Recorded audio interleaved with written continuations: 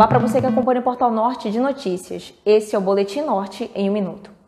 Acaba de morrer com um tiro na cabeça o segundo sargento da PM Manuel Martins Lima, na rua Arnaldo Carpinteiro Pérez, no bairro Petrópolis. Dois suspeitos em uma moto preta fizeram um disparo e a polícia suspeita que o crime seja um latrocínio.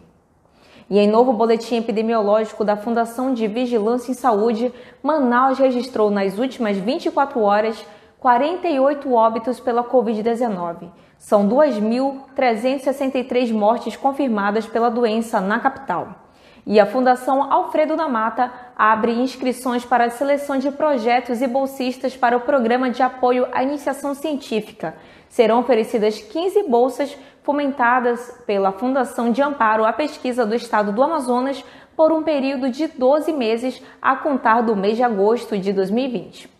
Eu sou Sheila Monique, do Portal Norte de Notícias.